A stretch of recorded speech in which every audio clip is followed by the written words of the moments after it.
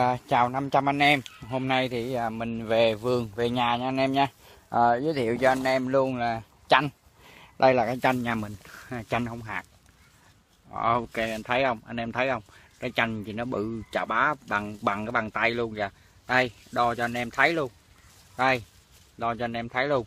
Đó trái chanh này. Trời ơi trái chanh này trái cái này chỉ cần ba trái chanh là đủ một ký vậy mấy anh em ơi. Đây cái chanh này thì tí lột ra nước không? Để lột cho anh em coi thử đi. Hái luôn cho anh em coi nha. Rồi, hái một tay cầm điện thoại. Để cái trái chanh này bự chà bá luôn. Này nha anh em nha. Rồi để quay cái camera lại cho anh em coi trái chanh bự to bằng trái ổi luôn kìa anh em. Thấy không? Đây là trái chanh trái chanh không hạt.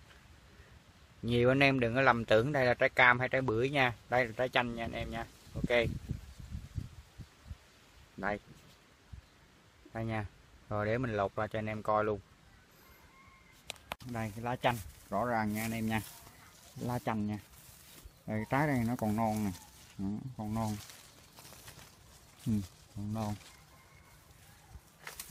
Đây, cái chanh. Chanh bự chanh khổng lồ. Này trái chanh này lại cây khác coi coi. Nó có trái nào bự bự ưng chừng mới nãy không? Quay lại cây khác cho anh em coi nha.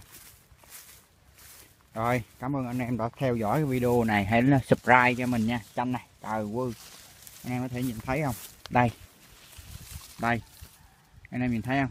Trời quư trái chanh nó bự rồi một trái này là nó bự một, khoảng ba trái là một ký.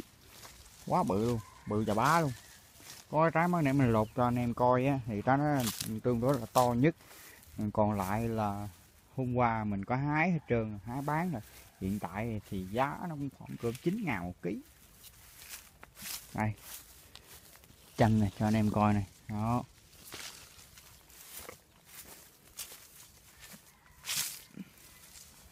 Rồi, đây. Chanh nè anh em.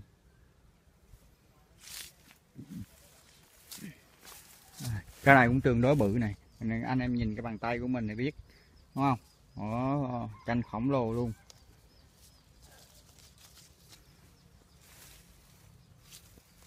Bây giờ lột làm sao mà mà mà mà cho anh em vừa cầm điện thoại vừa lột. Thôi bây giờ lột. À, để camera xuống nha. Để lột cho anh em coi.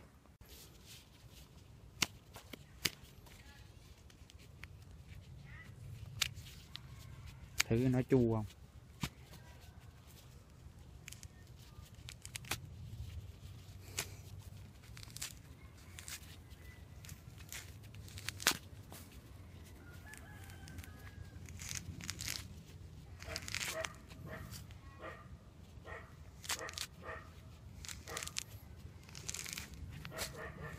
Này lột ra cho anh em coi cái chanh này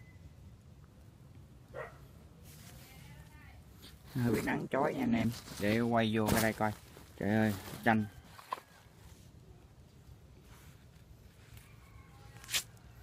này chanh nè anh em.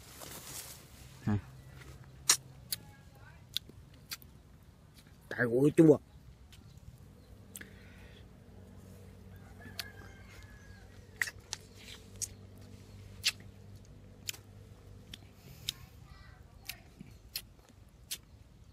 thôi chịu không nấu bỏ bớt bớt bớt. Đây chanh không hạt. À, vườn mình ở miền à, miền đông đồng nai. Rồi tới nữa mình quay toàn bộ cây chanh cho anh em thấy. Chim ngưỡng cái cây chanh. Nó trái nó bự như thế nào? Chua quá chua.